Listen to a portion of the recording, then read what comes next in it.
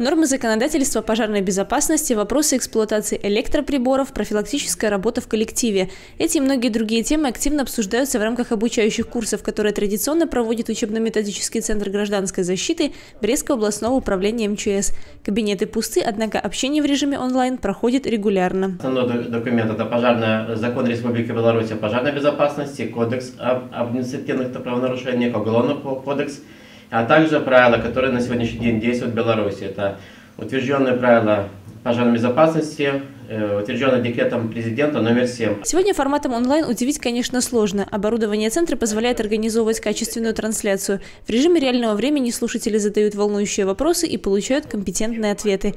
Однако специалисты учебно-методического центра гражданской защиты подчеркивают, всему необходимому через монитор научить не получится. Поэтому, как только эпидемическая ситуация улучшится, занятия вновь будут проходить в привычном для всех режиме. Используем э, онлайн-конференцию как программное средство, собираем слушателей каждый на своем рабочем месте, э, включается и э, слушает программу трехдневных курсов защита от чрезвычайных ситуаций. Обучающие курсы, которые традиционно проводятся Брестским областным управлением МЧС уже на протяжении многих лет. Кроме того, активно в эти дни идет подготовка виртуальной экскурсии по музею, расположенному на территории учебно-методического центра гражданской защиты МЧС. В первую очередь это делается для увлеченных школьников, которых раньше только за учебный год здесь проходила не одна сотня. Виртуальная экспозиция расскажет об истории становления пожарного дела на Брещине и представленности сегодня.